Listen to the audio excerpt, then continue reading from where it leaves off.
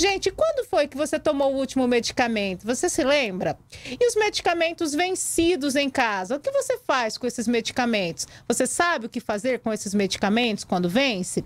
Olha, no sábado aqui em Três Lagoas, a gente aconteceu o primeiro drive-thru para descarte correto desses medicamentos. A reportagem é do Israel Espíndola.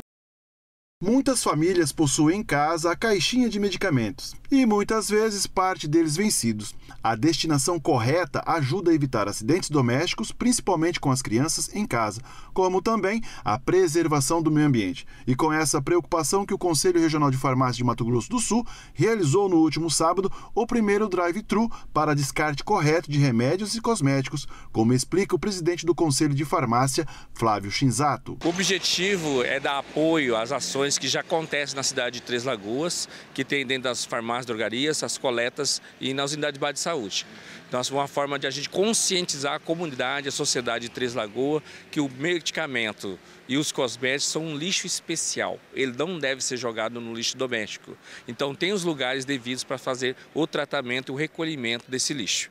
Então, essas ações têm como objetivo fomentar isso e vocês, dando a cobertura para a gente, facilita muito essa divulgação na sociedade. Esta ação já acontece em Campo Grande, Dourados e Corumbá e pela primeira vez aqui em Três Lagoas. O objetivo não é arrecadar o máximo de medicamentos, mas sim conscientizar as pessoas que devem separar remédios e cosméticos do lixo comum. Quem passou na Avenida Ponta Porã recebia a informação dos farmacêuticos sobre o descarte correto e os três lagoenses estão atentos na hora de jogar fora o medicamento vencido. Pai, a gente geralmente leva na farmácia mesmo, descarta na farmácia, né? É igual com, com lâmpada, descarta no mercado, que já tem o, os lugares certos de descartar. Então, a gente dificilmente acontece isso, né?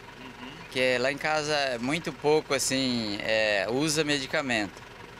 Mas quando acontece, é, a gente descarta de uma moda a menina enfermeira, né, entrega para ela, ela faz o uso correto. Em Mato Grosso do Sul, existe a Lei Estadual 5.180, de 12 de abril de 2018, que torna compulsória a coleta de medicamentos vencidos em todas as farmácias e drogarias.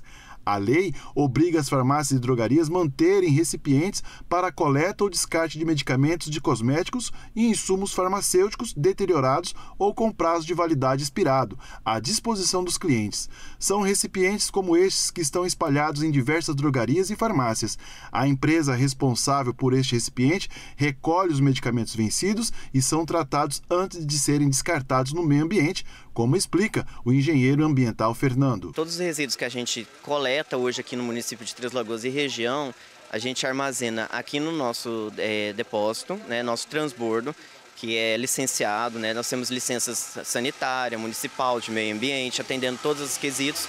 Nossos veículos também são todos licenciados a nível estadual, municipal, Polícia Rodoviária Federal, tem todo um trâmite de documentação. E todos esses resíduos vão para o nosso tratamento em Dourados, que também tem todas as documentações e certificações para poder funcionar.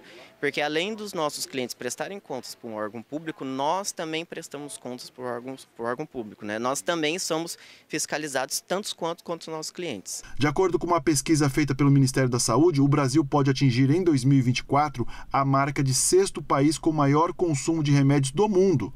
Ainda de acordo com a indústria farmacêutica no Brasil, 14 mil toneladas de medicamentos perdem a validade por ano, sendo a maior parte descartada de forma incorreta.